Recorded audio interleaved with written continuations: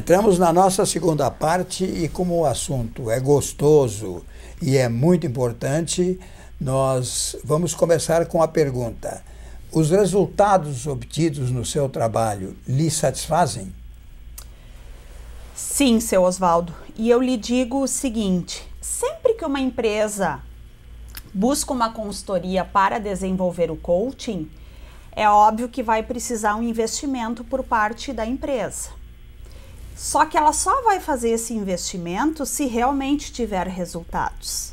E é justamente por isso que hoje o coaching é a ferramenta mais buscada pelas empresas para desenvolver as suas pessoas, porque o processo ele é focado em resultados, seu Oswaldo.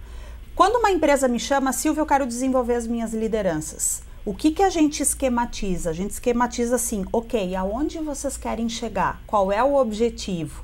Então o trabalho ele é todo estruturado com foco neste objetivo. E o trabalho só vai terminar quando este objetivo realmente tiver sido alcançado. Então não tem como eu ir lá fazer um trabalho e não ter resultado, porque todas as pessoas que fazem parte desse processo sabem que a gente vai percorrer, esse caminho para chegar no resultado. Então, seu Oswaldo, assim, ó, é um processo extremamente poderoso e que dá resultado, porque não tem como a gente sair fora do caminho que a gente vai estruturando para que a pessoa saia de onde ela está e chegue aonde a empresa quer que ela esteja. E, numa, num contrato de trabalho, por exemplo, só, Sim. há condições de chegar ao fim e não ter necessidade de voltar para para melhorar partes que não, não funcionam bem ainda, que tem que ser rebobinadas, né? para que dê certo. Seu Oswaldo, é importante a gente salientar que a gente está trabalhando com pessoas. Sim, exato. Pessoas não são máquinas que a gente vai lá, né, aperta um botão e a pessoa sai fazendo. O que, que acontece também no processo de coaching?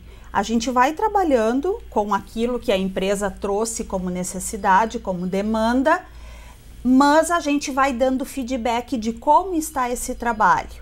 Olha, por aqui estamos alcançando, mas aqui a gente precisa focar um pouco mais. Então, claro, seu Oswaldo, é um trabalho construído em conjunto com a pessoa que está fazendo o coaching e com a empresa. Porque muitas vezes o trabalho ele funciona da seguinte forma: quando eu digo que ele é focado em plano de ação, a pessoa vai ter ações que ela vai precisar desenvolver de um encontro para o outro. Então, quer dizer, a empresa muitas vezes vai precisar dar o suporte que essa pessoa também precisa. E aí, então, esse trabalho ele é muito bem acompanhado desta forma, sabe, seu Oswaldo, do profissional que desenvolve o coaching e a empresa que contratou o trabalho. Então, se precisarmos aparar arestas, isso vai ser feito no decorrer do processo. processo. E se lá no final, seu Oswaldo, alguma coisa não foi atingida por qualquer motivo, isso tudo vai ser muito bem contratado com a empresa. E o que mais hoje essas empresas procuram através do coaching? Seu Oswaldo, hoje o que, que a gente tem visto nas empresas? É justamente aquela questão que eu comentei anteriormente de que hoje a parte técnica, seu Oswaldo, é muito fácil da empresa adquirir, né? A parte técnica. Eu preciso de uma nova tecnologia, eu vou lá e compro. Basta a empresa ter dinheiro para isso, para investir.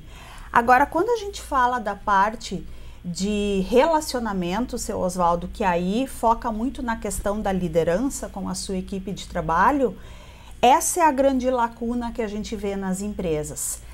Hoje a profissão que, que é mais procurada no ambiente corporativo, seu Oswaldo, é liderança. Então, o que, que isso nos mostra? As pessoas precisam ser desenvolvidas. E essa é a grande demanda das empresas. Buscarem o coaching para preparar as suas lideranças, porque, via de regra, são eles que conduzem o negócio através da sua equipe de trabalho. Quer dizer que o contato do, do, do, da, da, da, da, profissional nesse trabalho não precisa ser com os funcionários, bastaria ser com, com as lideranças. Se o trabalho precisa ser feito com as lideranças. Agora, tem casos, seu Oswaldo, que eu vou trabalhar com a equipe de trabalho, que aí sim o trabalho vai ser só com a equipe, a liderança nem participa. E tem casos também, seu Oswaldo, que eles chamam assim, Silvia, eu preciso que seja feito um coaching com um colaborador X, porque essa pessoa tem um trabalho específico que é importante com a empresa, aí sim a gente vai desenvolver o trabalho com aquele colaborador. Tudo depende da necessidade da empresa. No momento que ela, que ela se sente necessitada. Isso. E isso é um trabalho muito longo, depende também do, dos problemas enfrentados. Não, seu Oswaldo, eu vou lhe dizer que o coaching ele é um processo, uh, via de regra, rápido, seu Oswaldo. Eu vou lhe dizer assim, um processo de coaching ele levaria de três, quatro, seis meses, seu Oswaldo. Não é um trabalho. Não é um trabalho para a vida toda. psicólogo que trata com o cliente doente, Não, né? Ele é diferente, seu Oswaldo. Justamente por isso. A gente identifica o objetivo e o trabalho todo é focado tendo em vista que a pessoa alcance esse objetivo. Então a gente pode dizer que o processo de coaching ele funciona da seguinte forma: é, ele pode ter encontros semanais com o cliente, encontros quinzenais ou encontros mensais. Então, tudo vai depender dessa periodicidade do trabalho. E, e, e como o, o, o pessoal está recebendo, esses empregados estão recebendo este serviço, que para mim é uma coisa bastante moderna, né? não é coisa muito antiga. Como é Sim. que eles estão? Eles não, não sentem assim, mas será que isso vai dar resultado? Não vai dar resultado? Porque ele não pegou nada na mão, claro, né? Claro, Mas, seu Oswaldo, é isso que eu lhe digo assim, o coaching ele chegou no Brasil pela década de 80, 90 e começou nas grandes corporações. E justamente pelo resultado que essas empresas foram alcançando, que se a gente for pensar assim, de, de 2000 e 2005 para cá, seu Oswaldo, assim, ó, é como se fosse um boom no Brasil. Todas as empresas estão buscando coaching. Agora, o que, que é importante? A empresa realmente contratar um coaching que seja realizado por um profissional que tenha a formação necessária para isso. Porque hoje a gente vê. São raros os profissionais atualmente, eu acho. Pelo contrário, seu Oswaldo, hoje tem muito Bastante. profissional desenvolvendo coaching. Sendo uma coisa nova. Né? É. Uh, justamente por isso, né, seu Oswaldo, pela, pela, pelo resultado do trabalho, que realmente ele dá resultados para a empresa, mas também é um trabalho que está sendo vendido muito hoje. Então, hoje eu diria assim que o grande diferencial para uma empresa buscar coaching assim, é investigue qual é a formação desta pessoa que fará o coaching. Silvia, tu estás atuando em, em, muitas cidades ou está mais pelo Vale do Taquari. Quais são as tuas andanças nesse Isso. trabalho? Seu Oswaldo, como o senhor falou no início, eu sou daqui de Lajeado. Sim. Eu já trabalho com consultoria fazem cinco anos e nesses cinco anos eu posso lhe dizer assim que eu ando pelo Rio Grande do Sul inteiro. Hoje a gente tem clientes é, espalhados em todo o Rio Grande do Sul. Uh, tenho clientes uh, Erechim, Cruz Alta, Ijuí, Santa Rosa, que Santa maravilha. Maria. Aqui na região do Vale do Taquari, Lajado, Estrela, Teutônia, Encantado. Então, assim, a gente vai conforme a agenda de trabalho que a gente tem com os clientes. Silvia, tu é filha de um cabeleireiro importante aqui do Vale do Taquari, do Silvios, né? Sim. Não tem quem não conhece o Silvios. E como é que tu, em vez de querer montar um instituto de beleza, resolveste ir para a psicologia? Sim. Pois é, seu Oswaldo, é até uma coisa engraçada, porque eu me criei dentro do salão do meu pai. Exato. E atuava bem naquela questão administrativa é, atendendo o telefone, atendendo clientes, mas nunca fui do negócio, seu Oswaldo. Eu nunca me via fazendo o trabalho que ele faz hoje.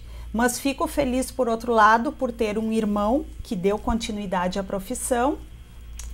E quando terminei o segundo grau, seu Oswaldo, né, vem aquela questão, bom, o que, que a gente vai fazer agora? E a psicologia sempre foi algo que eu me identifiquei. E desde que eu comecei a faculdade, em 94, eu sempre tinha em mente o seguinte: eu quero me formar em psicologia e quero atuar em empresas. Então, Por que essa vontade de atuar em empresa? Leu alguma coisa sobre isso? Falou com alguém sobre isso? Ou foi o Espírito Santo que deu? Seu Oswaldo, eu penso que é aquela coisa assim: a gente começa a pensar, a gente começa a refletir, e foi algo que eu me identifiquei e muito focada nisso. Quero trabalhar em empresas. Empresa sempre foi o meu grande sonho. E por que também isso, né, seu Oswaldo? Eu penso o seguinte: numa empresa a gente tem pessoas. E quando a gente trabalha com a psicologia, o foco é desenvolver pessoas. Então, meu sonho também sempre foi esse. Com toda a ferramenta que a gente adquire ao longo, ao longo da faculdade, a gente poder ajudar pessoas. Porque todo o desenvolvimento da pessoa está dentro dela mas a gente pode, através disso, ajudar essa pessoa a ser melhor.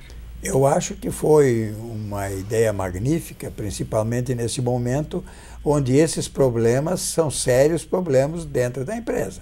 Claro. Eu, por exemplo, eu tenho um problema sucessório, né? Porque eu, eu, eu, o sucessor, que era o meu filho Paulo Alceu, ele não, não, não vai voltar, não tem interesse nenhum Sim. em voltar. Então eu tenho que começar a pensar nisso claro. também. E os outros têm que pensar mais uma coisa, mais outra, no fim, acho que foi um acerto econômico também.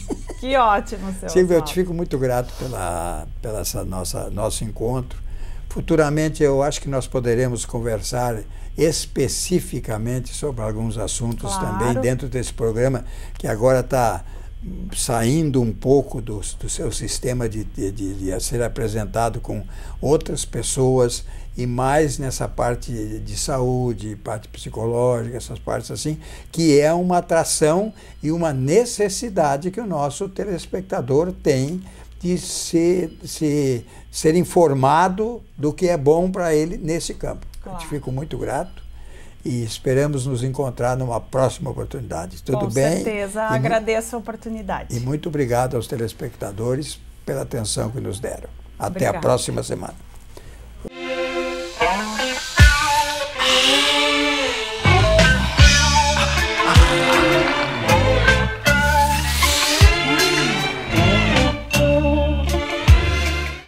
Ótica Esmeralda. Há 40 anos em Lajeado, a melhor opção na hora de comprar joias em ouro 10 e 18 quilates, anéis, pulseiras, correntes, brincos com detalhes em pedras brasileiras e em ouro branco.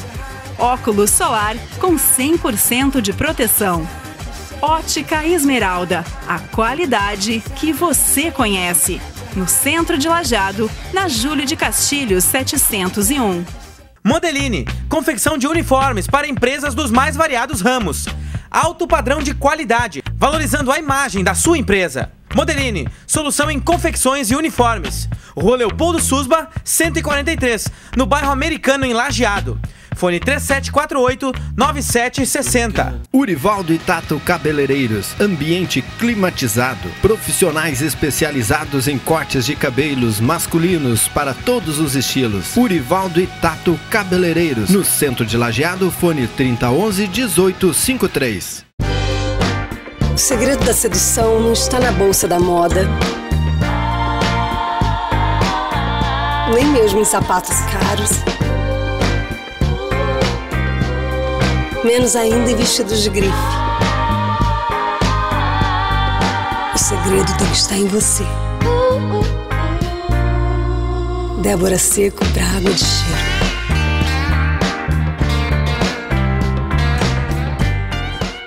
Na Lotaria Johan você encontra a linha completa de máquinas e equipamentos para seu negócio, balcões para buffet, montagem L com detalhes em madeira marrom, balcão para carnes modelo duplex, vitrine Thermix e Sevamix, geladeiras para bebidas, equipamentos para mercados, açougues, lancherias, restaurantes e agroindustriais.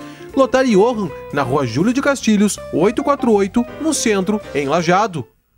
Salão Labela, onde você encontra tudo em cabelos mega hairs, faixas, perucas, mechas coloridas e toda a linha de produtos Raco. Salão Labela, o Salão da Lourdes, na Borges de Medeiros 297, em Lajado.